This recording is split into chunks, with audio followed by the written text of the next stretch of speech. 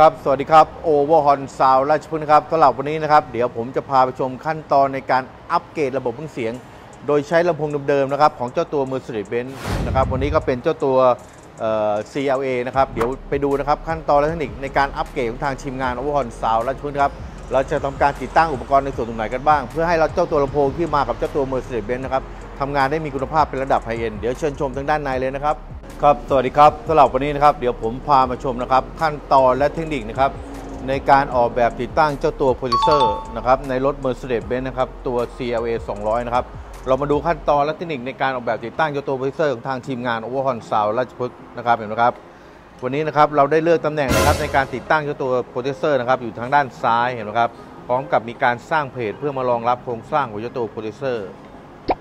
นะครับมีความลงตัวนะครับยึดแน่นหนานะครับและนอกจากนั้นนะครับดูขั้นตอนในการวายสายที่มาตรฐานยุโรปนะฮะดูขั้นตอนในการ wire สายทางทีมงาน Overhorn Sound ราชพฤกษ์นะครับก็เสร็จสิ้นไปที่เรียบร้อยนะครับสำหรับขั้นตอนและเทคนิคในการออกแบบติดตั้งเจ้าตัว processor ในรถ Mercedes-Benz ตัว CLA 200 คันนี้นะครับ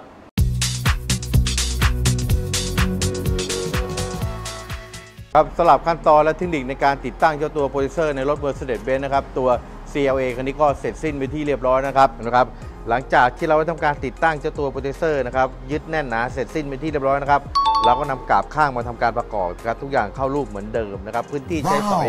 เราก็ยังใช้งานเหมือนเดิมนะครับ แล้วนอกจากนั้นครับในการ setup นะครับมันก็ง่ายนะครับ เราเพียงเปิดฝามาปุ๊บนะครับเราก็สามารถทำการ setup เจ้าตัว processor ได้นะครับนะฮะนี่คือขั้นตอนและเทคนิคนะครับในการออกแบบติดตั้งเจ้าตัว processorในรถ Mercedes-Benz ก็เสร็จสิ้นไปที่เรียบร้อยแล้วนะครับ ครับ หลังจากที่เราได้เห็นนะครับ ขั้นตอนและเทคนิคนะครับ ในการอัปเกรดระบบเครื่องเสียงนะครับ ในรถ Mercedes-Benz นะครับตัว CLA นะฮะโดยการติดตั้งเจ้าตัว processor นะครับ เพื่อนำสัญญาณจากเจ้าตัว front นะครับ เข้ามาทำการวิเคราะห์นะครับ และประมวลผลสัญญาณเสียงใหม่ โดยใช้ลำโพงเดิมๆนะครับ ซึ่งมีคุณภาพดีอยู่แล้วนะครับ เพียงแต่เราหาอุปกรณ์นะครับ ไป drive แล้วก็ไปเลือกการ cut off การทำงานของเจ้าตัวลำโพงที่มากับเจ้าตัว Mercedes-Benz เนี่ยให้ทำงานได้มีคุณภาพเป็นระดับ hi-end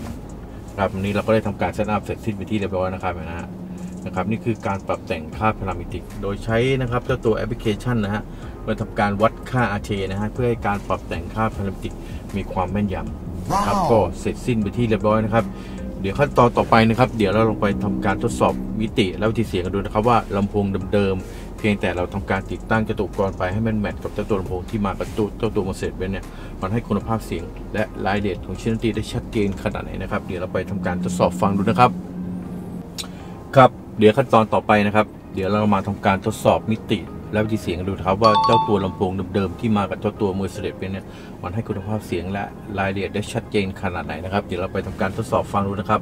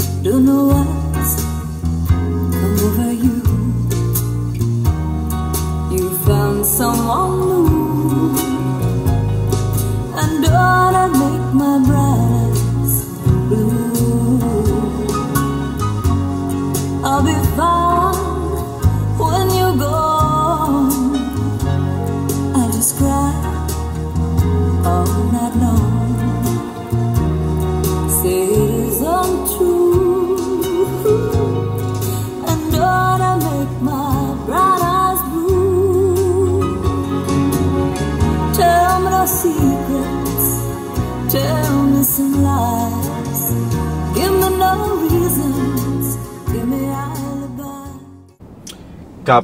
หลังจากที่เราได้ทำการทดสอบฟังเห็นไหมครับ การถ่ายทอดรายละเอียดของชิ้นดนตรีนะครับ ได้โดดเด่นนะครับ ฟังรู้สึกเป็นการผ่อนคลายครับทั้งทั้งลำโพงนะครับ ก็เป็นลำโพงเดิมที่มากับทางเจ้าตัว Mercedes-Benz นะครับ ซึ่งมีคุณภาพที่ดีอยู่แล้ว